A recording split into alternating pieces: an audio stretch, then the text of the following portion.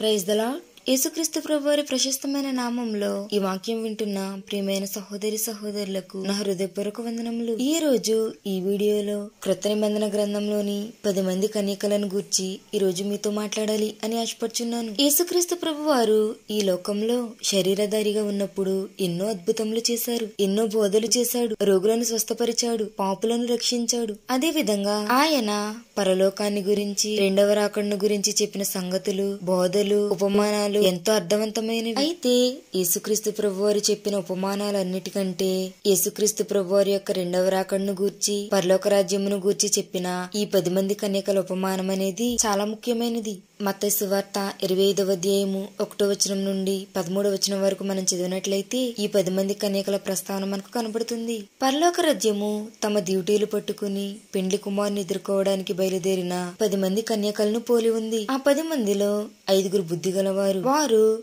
తమ దివిటీలకు అవసరమైన సిద్ధలను వాటిలో చాలినంత నూనెను తీసుకుని వెళ్ళారు మిగిలిన ఐదుగురు బుద్ధిలేని కన్యకలు. వారు డ్యూటీలు వెలిగించడానికి అవసరమైన నూనెను వెంట తీసుకుని పోలేదు. వీరందరూ కూడా ఊరి బయట పెండ్లి కుమారుడు అతని బంధువుల రాక కోసం వేచి ఉన్నారు. చాలా ప్రొద్దుపోయింది. అయినా పెండ్లి కుమారుడు రాలేదు. కాబట్టి ఈ పది మంది కన్యకలు కూడా గాఢ నిద్రలోకి వెళ్ళిపోయారు అర్ధరాత్రి అయిపోయింది. పెండ్లి కుమారుడు వస్తున్నాడు. అతన్ని ఎదుర్కోవడానికి సిద్ధం కండి అనే కేక వారికి వినబడింది. వెంటనే పది మంది కన్యకలు కూడా లేస్తారు. అయితే వారిలో ఐదుగురు కన్యకల డ్యూటీలు మాత్రం ఆరిపోతుంటాయి. అలాంటి సమయంలో వారు బుద్ధిగల కన్యకల దగ్గరకు వచ్చి మా దివిటిలో ఆరిపోతున్నాయి. మీ నూనెలో కొంచెము మాకు ఇవ్వండి అని వారిని బ్రతిమలాడుతున్నప్పుడు బుద్ధిగల కన్యలు వారితో మీకు ఈ నూనె ఇస్తే మాకు చాలదేమో కాబట్టి మీ నూనె అమ్మే వాళ్ళ దగ్గరకు వెళ్ళి త్వరగా రండి అని చెప్పినప్పుడు ఆ ఐదుగురు బుద్ధి లేని కన్యకలు పరుగు పరుగున నూనె కోసం వెళ్తారు. అలా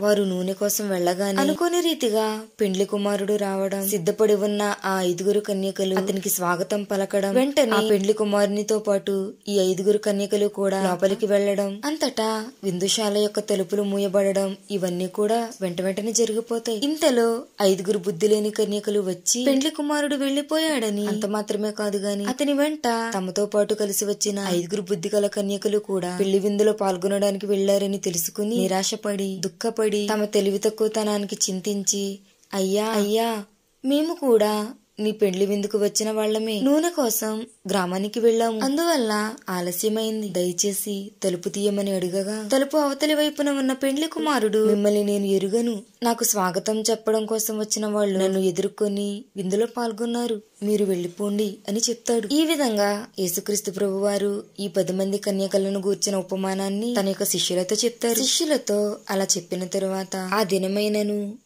గడి అయినను మీకు తెలియదు గనుక మెలకువగా ఉండుడి అనే మాట కూడా చెప్తారు. ఇక్కడ పెండ్లి కుమారుడు యేసుక్రీస్తు ప్రభు వారికి సాదృశ్యంగా పెండ్లి కుమార్తె సంగమునకు సాదృశ్యంగా పది మంది కన్యకలు పెండ్లి కుమార్తె అనబడే సంగమును రెండవ రాకడకై సిద్ధపరిచే సేవకులకు సాదృశ్యంగా మనం చెప్పుకోవచ్చు. అదే విధంగా ఈ పది మంది కన్యకలలోని పోలికలు వ్యత్యాసాలు ఒకసారి మనం చూసినట్లయితే పది మంది కన్యకలే పది మంది వివాహానికి పిలువబడ్డారు. పది మంది సిద్ధలను కలిగి ఉన్నారు. పది మంది విడిద గృహానికి చేరుకున్నారు. పది మంది నిద్రపోయారు. పెండ్లి కుమారుని రాక ఆలస్యం కావడం వలన పది మంది పెండ్లి కుమారుడు వస్తున్నాడు అనే కేక విన్నారు. పది మంది నిద్ర లేచారు. పది మంది సిద్ధులు వెలిగించారు. పది మంది సిద్ధులు వెలిగాయి. కానీ ఐదుగురు సిద్ధులు ఆరిపోయాయి. కారణం ఆ సిద్ధులలో నూనె లేదు. ఈ వీడియో చూస్తున్న స్త్రీలారా? ఈ ఉపమానం ద్వారా పరలోక రాజ్యమును గూర్చిన మర్మములు చెప్పబడిన క్రీస్తు రెండవ రాకడ విషయంలో నిర్లక్ష్యంగా ఉండకూడదని ఈ విషయం ద్వారా దేవుడు మనకు హెచ్చరిస్తున్నాడు. మనం ఊహించిన గడియలో ఆయన వస్తాడు. మనము భౌతికంగా శరీర విషయంలో కాక ఆత్మీయ రీతిగా సిద్ధపడి ఉండాలి. ఇక్కడ ఉపయోగించబడిన నూనె పరిశుద్ధాత్మ శక్తికి భక్తి శ్రద్ధలకు సూచనగా ఉంది. అవి ఇతరులకు అప్పుగా ఇచ్చేవి కావు. ఇతరుల నుండి అప్పుగా తీసుకునేవి కూడా కాదు. అనే విషయాన్ని మాత్రం మనం గుర్తుంచుకోవాలి. అలా సిద్ధపడిన వారిని బుద్ధిగల కన్యకలని సిద్ధపడని వారిని బుద్ధి లేని కన్యకలని యేసుక్రీస్తు ప్రభు వారే చెప్పారు. సమయం మించిపోయిన తరువాత మనం దేవుణ్ణి ఎంత బ్రతిమాలినా ఎంత వేడుకున్నా ఫలితం మాత్రం ఉండదు. బైబిల్ గ్రంథంలో ధనవంతుడు మరియు లాజర్ను గురించి చెప్పబడిన మాటల్లో ధనవంతుడు కూడా తండ్రి అయిన అబ్రహామును బ్రతిమలాడతాడు. కానీ ఫలితం ఏమాత్రం ఉండదు. మన ప్రభువు ఏ దినమున వస్తాడో మనకు తెలియదు. కాబట్టి సిద్ధపడి మెలకువగా ఉందాం. ఏ విధంగా అయితే బుద్ధిగల ఐదుగురు కన్యకలు కూడా సిద్ధపడి ఉన్నారో అదే విధంగా మనం కూడా సిద్ధపడదాం. అటువంటి కృప దేవుడు మనకందరికీ సహాయం చేయనుగాక.